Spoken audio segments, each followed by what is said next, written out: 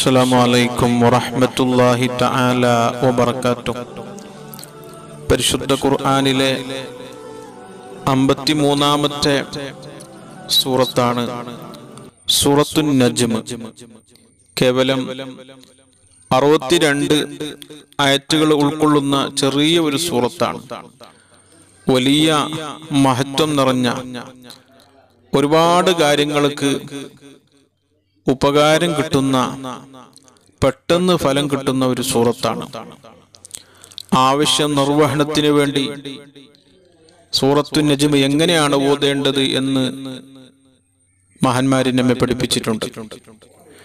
മൻ ഖറഅ സൂറത്തു നജ്മി ആരെങ്കിലും സൂറത്തു നജ്മ് പാരായണം നടത്തിയാൽ വാഹിദം വഴശ്രീനമറ ഇരുപത്തി ഒന്ന് വട്ടം.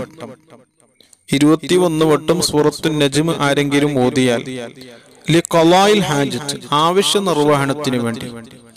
ആവശ്യങ്ങൾ ആഗ്രഹങ്ങൾ മുറാജുകൾ ഉദ്ദേശങ്ങൾ പെട്ടെന്ന് പൂർത്തിയാകാന് വേണ്ടി. അങ്ങനെ നിയത്ത് വെച്ച് ഇരുപത്തി ഒന്ന് പ്രാവശ്യം ഇരുപത്തിയൊന്ന് വട്ടം ആരെങ്കിലും ഓതിയാൽ. പെട്ടെന്ന് അവന്റെ ആവശ്യം അള്ളാഹു പൂർത്തിയാക്കി കൊടുക്കും.